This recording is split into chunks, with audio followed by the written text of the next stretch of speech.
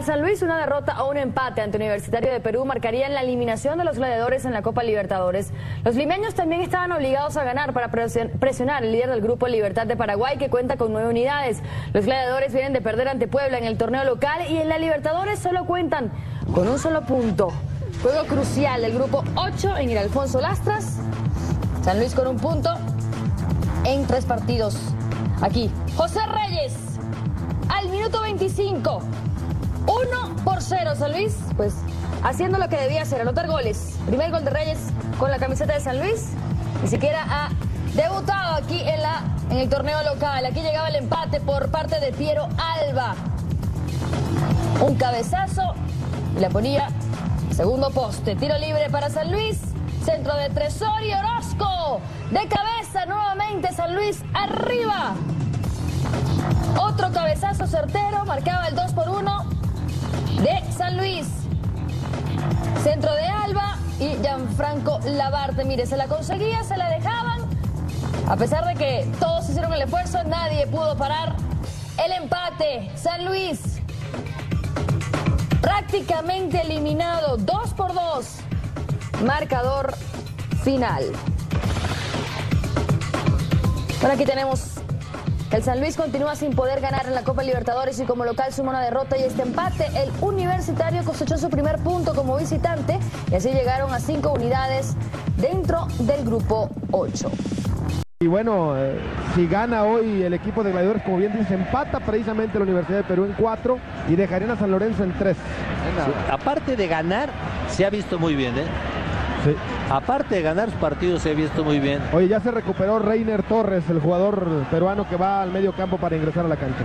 Carlos Galván en el cabezazo.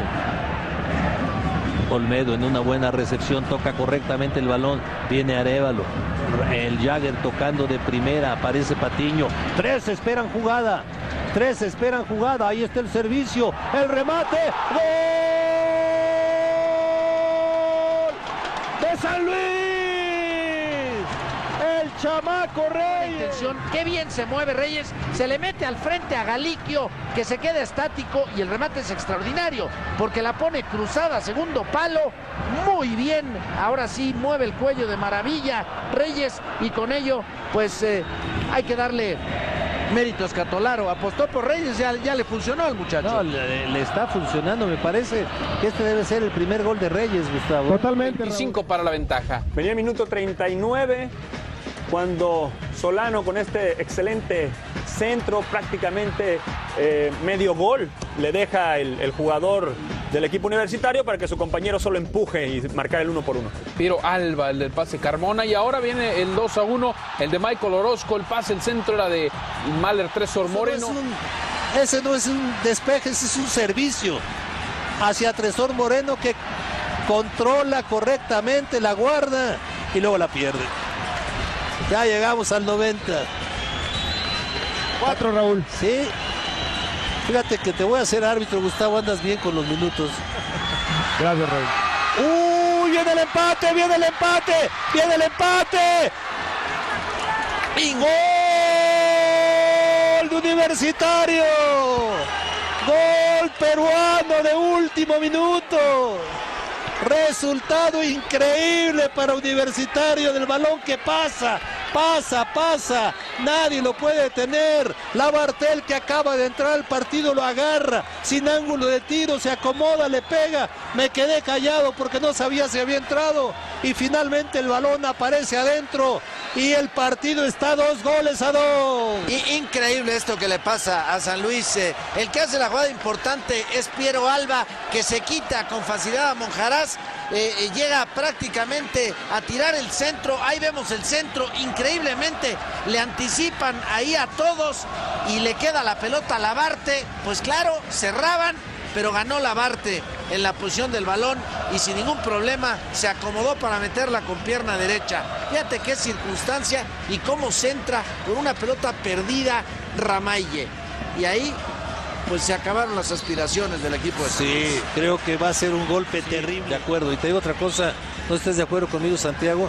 Renunciaron por completo al ataque, le dieron el balón al contrario. Cuando menos intenta tenerlo al frente y a ver si no meten el tercero, porque aquí viene Universitario, una barrida muy oportuna. pero muy oportuna, cruzándose y mandando el balón hacia afuera. Allá Orozco cuando estaba listo Caleira para hacer el tercero. Increíble aparte cómo cayó el gol, pasó por en medio de todos ahí en el área. E, Es, es el centro que apareció Caleira y en medio de todos, cuando ya parecía que había controlado la pelota, se termina el partido, se molesta Américo Escatolaro, Juan Reynoso encantado con su gente. Qué resultado para Universitario. Increíble el resultado, pero se vuelve a comprobar como ha sucedido, atención en esta jornada, en la Copa Santander Libertadores, los partidos son hasta que se acaben. Y bueno, el equipo de San Luis le hicieron un gol de último minuto, como se lo hicieron a Lanús también, y este tipo de resultados que están, este, bueno, demostrándonos que los partidos tienen que ser jugados hasta el final. Allá va Adrián, Adrián Martínez, véanlo. Vamos con el jugador del partido y el de mérito es para Gianfranco Labarte, el eh, número 11 del equipo de Universitario de Deportes de Perú, por su ahínco y por su tranquilidad para definir las cosas a, última hora, minuto 90 y fracción, pone el de la diferencia en este partido, ex del equipo Derby County, ahora con el de Universitario de Aquí lo Deportes. tenemos entonces. 25 minutos del primer tiempo. Llega al centro de Patiño y Reyes. Gran cabezazo de pique al suelo. Nada que hacer para Raúl Fernández. Jugaba mejor San Luis y en el resultado así lo expresaba. Pero los 40 minutos, o los 39 para ser más exactos de ese primer tiempo, llega al centro del Niol Solano. El cabezazo en el segundo palo de Carmona. Y por el otro costado aparece el goleador. Piero Alba para sentenciar el empate con el que se iban al descanso. En el segundo tiempo, otro centro, casi desde el mismo lugar de donde empalmaba la pelota el Niol Solano. A los 33 del complemento, para la llegada de Orozco por el segundo tiempo, 2 a 1 arriba San Luis. Parecía que así terminaba el partido. Sin embargo, en el último minuto de los 90 se produce esta jugada con el desborde por la izquierda. El rebote no puede atrapar la pelota el arquero Martínez y por detrás de todos llegaba el desprotegido, el recientemente ingresado, Lavarte, para lograr la igualdad.